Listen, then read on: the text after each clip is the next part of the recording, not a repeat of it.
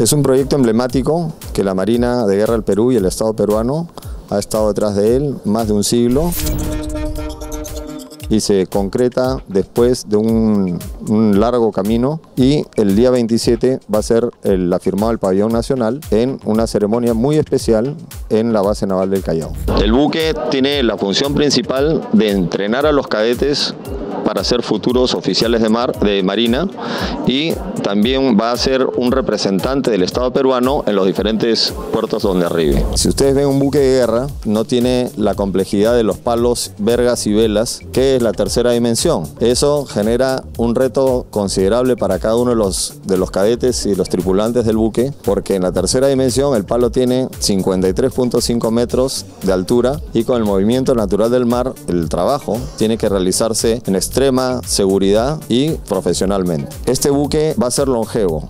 Su duración más o menos son de 100 años. Tenemos la garantía del Servicio Industrial de la Marina, que ha sido construido por gente con muchísima experiencia, asesorados también por empresas importantes extranjeras, como manifesté. Y lo importante es que va a tener muchas muchas promociones de marinos que van a pasar por sus cubiertas. El BAP Unión tiene 115.75 metros de eslora, que es el largo, 13.5 metros de manga, que es el ancho. La altura de los palos son 53.5 metros de altura. Tenemos una maravilla que es el mascarón, que es el Inca Tupac Yupanqui, diseñado y realizada la obra por la extraordinaria escultora Pilar Martínez Woodman y en este buque vamos a tener la capacidad de llevar 257 personas, de las cuales 120 son cadetes, 23 oficiales, personal que va a dotar el buque y los cadetes van a tener que subir a los palos y vergas para poder largar y cargar las velas. Este buque tiene propulsión mixta, propulsión a vela principalmente si es que el viento lo permite y también tiene un motor propulsor con un eje y una hélice en caso la velocidad planeada para llegar a puerto eh, sea por debajo de lo que se requiere.